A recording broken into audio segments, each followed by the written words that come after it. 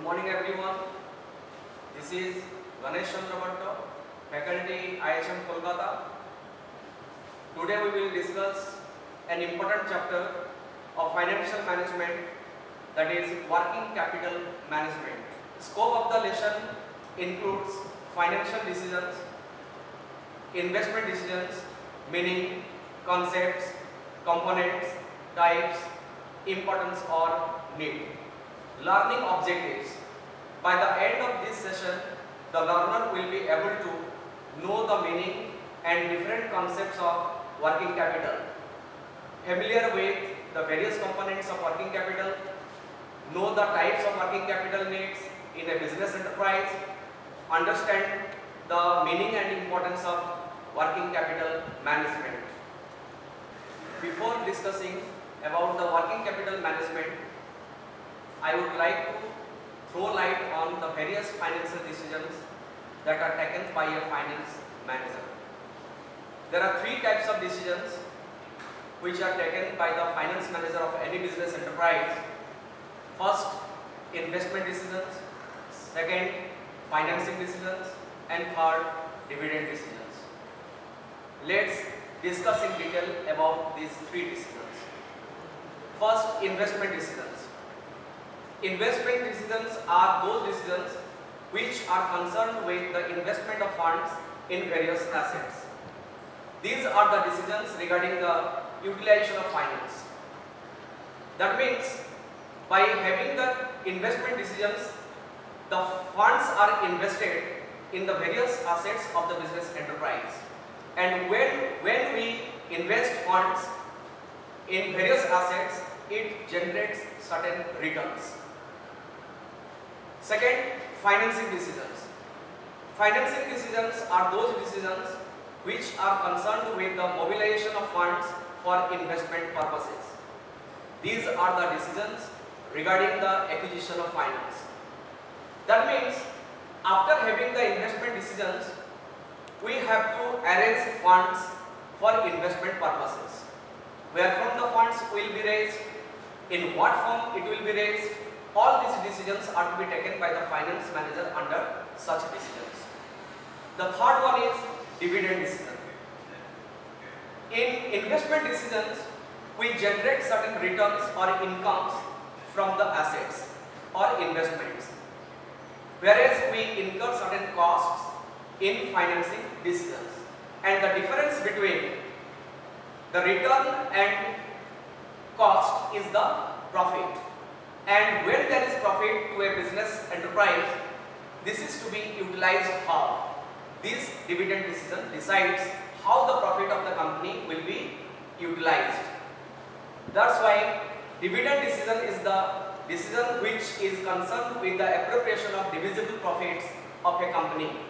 That means how much profit should be kept as retained earnings for reinvestment purposes and how much profit should be paid as dividend to the shareholders. Types of investment decisions. There are two types of investment decisions that are taken by the finance manager of every business enterprise. One is short-term investment decisions, second one is long-term investment decisions. Short-term investment decisions are those decisions which relate to the short-term assets or current assets of a business enterprise. For example, maintaining cash and bank balances, maintaining stock of raw materials or finished goods, maintaining receivables, that means debtors. Short-term investment decision is also known as working capital management. That means our present discussion, working capital management falls under this type of decision. Long-term investment decisions are those decisions which relate to the long-term assets or fixed assets of a business enterprise.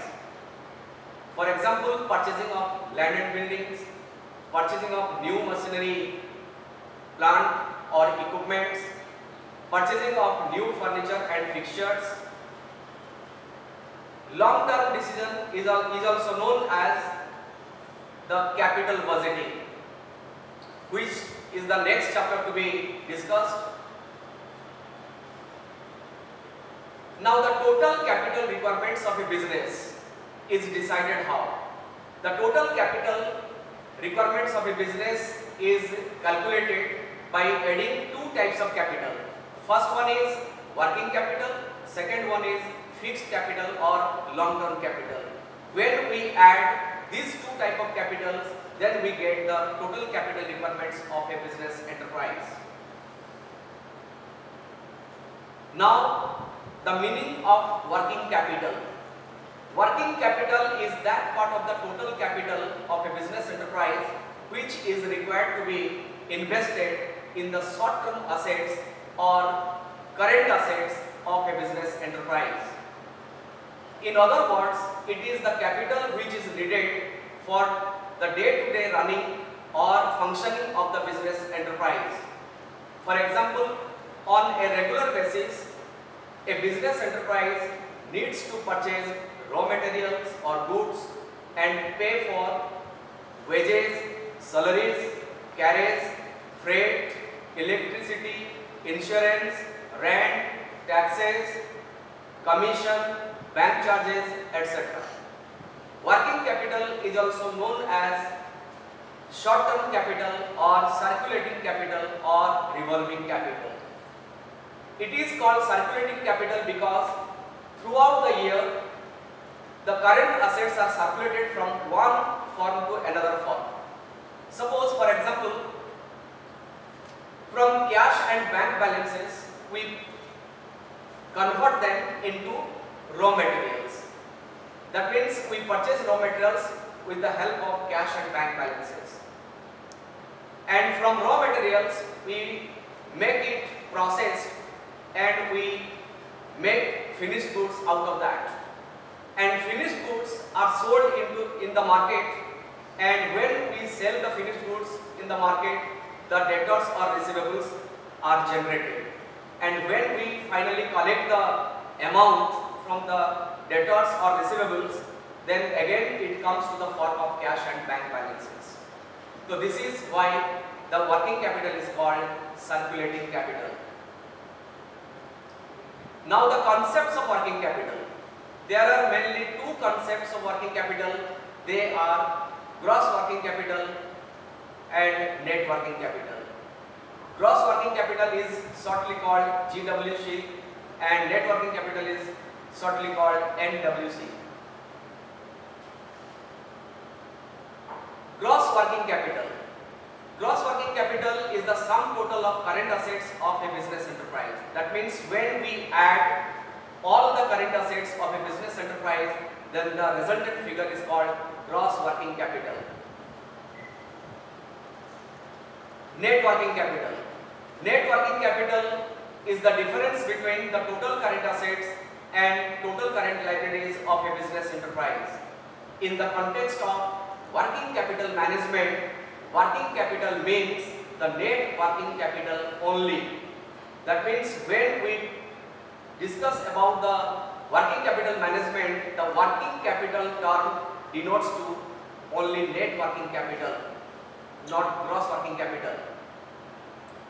Net working capital thus calculated total current assets minus total current liabilities and net working capital is also known as the net current assets of the business enterprise.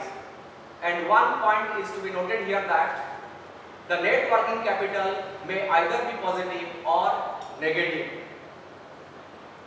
Positive working capital. When the total current assets of a business enterprise exceeds its total current liabilities, it is called the positive working capital. Thus, positive working capital is equal to total current assets minus total current liabilities. With the positive working capital, a company will be able to meet its all current obligations in time, such as timely payment of creditors, outstanding expenses, short-term loans, etc. Therefore, it is always advisable to keep sufficient amount of positive working capital in the company so that it will be able to meet its current obligations in time and maintain goodwill in the market. negative working capital. When the total current assets of a business enterprise exceeds its total current assets, it is called the negative working capital. Thus, negative working capital is equal to total current liabilities minus total current assets. So, negative working capital is the reverse of positive working capital. In case of negative working capital, the company will not be able to meet its current obligations in time, such as payment of creditors, outstanding expenses, short-term loans, etc. The company will suffer a lot to pay out its current liabilities in time and retain its goodwill. That means it is not at all desired. Negative working capital is not at all desired in any company. Therefore, it is always advisable to keep sufficient amount of positive working capital in the company so that the company would be able to meet its all current obligations in time and maintain its goodwill in the market. We shall discuss about the components of working capital. There are mainly two components of working capital. First one is current assets, second one is current liabilities. What are the current assets? First one is cash in hand, cash at bank, bills receivables, sundry debtors, short-term investments or it is called marketable securities, closing stock, prepaid expenses and accrued incomes. Current assets are those assets which are either in the cash form or can be converted into cash in a very short period. On the contrary, current liabilities are those liabilities which are to be repaid within one accounting period. The examples are bank overdraft, outstanding expenses, incomes received in advance, bills payables, sundry creditors, short-term loans taken, income tax payable and dividend payable. The example is here in your screen. There are certain current assets and current liabilities given for a hotel as on 31st March 2020. Cash and bank 50,000, debtors 60,000, closing stock 40,000, bills receivables 30,000, creditors 30,000, bills payables 10,000, dividend payable 20,000. Find the gross working capital and net working capital of the hotel. This is the question which is to be solved now. For gross working capital and net working capital, we have to apply the formula that we have already discussed earlier. First one is gross working capital. Gross working capital is equal to total current assets which includes first cash and bank, debtors, closing stock, bills receivables. When the amounts are to be added, then we will get the total current assets or gross working capital of the enterprise. And the total current assets is coming 1 lakh 80,000 after addition of 50,000, 60,000, 40,000 and 30,000. Next, net working capital is equal to total current assets minus total current liabilities. We have already calculated the total current assets which is 1 lakh 80,000. Now the total current liabilities includes your uh, creditors, bills payable and dividend payable. When we add the three amounts of creditors, bills payable and dividend payable, it comes to 60,000 rupees. And when this 60,000 rupees is deducted from the total current assets of rupees 1 lakh 80,000, the resultant figure is 1 lakh 20,000 which is called your net working capital or net current assets. Types of working capital. There are two types of working capital. First one permanent working capital or fixed working capital. Second one is temporary working capital or variable working capital. First permanent or fixed working capital. the minimum amount of working capital or current assets which is required to be maintained in a business at all times refers to the capital which is permanently blocked in the current assets of a business enterprise. For example, minimum cash and bank balances. We have to maintain minimum cash balance, cash in hand and cash and bank balances, minimum stock of raw materials or finished goods, minimum receivables, that means minimum debtors. Second one is temporary or variable working capital.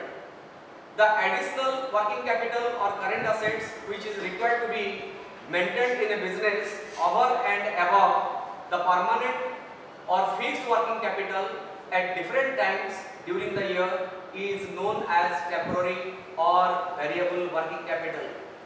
In other words, it refers to the working capital that is required to meet the additional requirements of funds in a business due to higher production and higher sales during the peak season.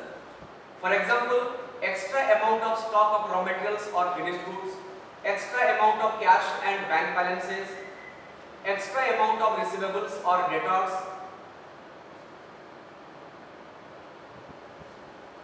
Now the diagram showing the permanent and variable working capitals. The permanent and variable working capital needs of a business can be better analyzed with the help of a diagram. For this purpose, the business forms can be divided into the following two broad categories. First one is stable forms and second one is growth forms. Stable forms are the forms which has the stable business. On the other hand, growth forms are the forms which has the growing business. The first diagram shows the permanent and variable working capital of a stable firm and the second diagram shows the permanent and variable working capital of the growth firm. In case of the first diagram, OX axis represents the time whereas OY axis represents the amount of working capital. And there is a straight line parallel to the OX axis that represents your permanent working capital. And the zigzag line is called the temporary working capital which is above the permanent working capital. In case of the second diagram, similarly the OX axis represents the time, OY axis represents the amount of working capital.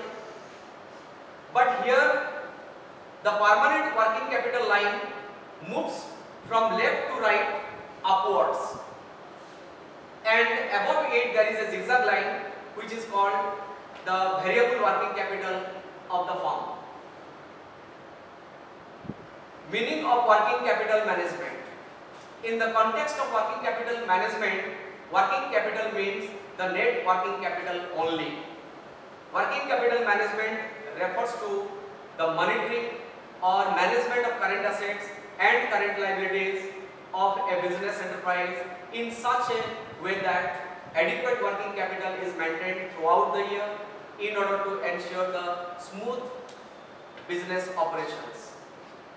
In other words, working capital management is the management of liquidity or short-term solvency position of a business enterprise during a given period. What is liquidity or short-term solvency position? Liquidity refers to a company's ability to meet its current obligations as and when they become due. Current obligations can be met only when there are sufficient liquid assets. Next, need for working capital management or it is called the significance of working capital management or importance of working capital management. The importance of working capital management can be felt with the following points. First, smooth running of the business by meeting all the day-to-day -day expenses of the business. Second, maintaining high solvency and good credit rating of the business. The business enterprises which has high solvency and good credit ratings will be able to arrange the funds in the form of loans and borrowings. Third point, prompt payment of all current obligations to maintain liquidity of the business. When we maintain sufficient liquidity in the business, then the company will be able to make prompt payments of all current obligations. Fourth, availing huge cash discounts on bulk purchases which reduces cost. If we have sufficient liquid assets in our business firm, then we can make bulk purchases to avail discounts and this discount will reduce your cost. Fifth point, ensuring regular supply of raw materials and continuous production. When we have sufficient raw materials in our hand, in our stock, then the production process will not be interrupted at all during the year. Next, making regular and timely payment of wages and salaries increases the morale and efficiency of the employees. Next, facing business crises such as depression where there is low demand, low sales and low production. Depression is the situation where the company faces low demand, the demand for the product in the market is very low, sales become lower and production also lower. In this situation, if the company has sufficient working capital, then it can face the crisis very well. Next, paying quick and regular returns to the investors such as dividends. If the company has sufficient working capital, then it will be able to make quick and regular returns to its investors. And finally, creating overall efficiency and goodwill of the business. When we have sufficient working capital, then we uh, pay the current obligations in time for which the goodwill of the company is created and maintained. Finally, the key points that we have already discussed in our lesson. The first short-term investment decision of the finance manager is known as the working capital management. Our present chapter or discussion working capital management falls under the short-term investment decision of the finance manager. Second, working capital is that part of the total capital of a business enterprise which is required for financing its current assets. That means it is needed for the day-to-day -day operations of the business enterprise. Next, there are two concepts of working capital. First one is gross working capital and net working capital. Gross working capital is the total current assets of the business enterprise whereas net working capital is the difference between total current assets and total current liabilities. There are two types of working capital. First, permanent working capital and variable working capital. Permanent working capital is the amount of working capital which is permanently blocked in the current assets of the business enterprise. On the other hand, variable working capital is the working capital which varies as per the requirements of the business. And finally, working capital management refers to the management of current assets and current liabilities of a business enterprise in such a way that adequate working capital is maintained throughout the year. By making working capital management efficiently, the company will be able to maintain its liquidity or short-term solvency position of the business. After having the discussions about the working capital management, there are certain questions or exercises for you. Question number one, define working capital, discuss the various concepts of working capital with suitable examples. Here you will have to define the working capital, what working capital is with certain examples. Then you will have to discuss the concepts. There are two types of concepts. First one is gross working capital, second one is net working capital. And you will have to give the examples of gross working capital and net working capital in the form of an example. Question number two. Explain the various types of working capital with neat diagram. There are two types of working capital permanent working capital and variable working capital. You will have to discuss each of them. Then you will have to show the diagram for both the stable forms and growth forms. Question number 3. Discuss the various components of working capital. There are two components of working capital. First one is current assets, second one is current liabilities.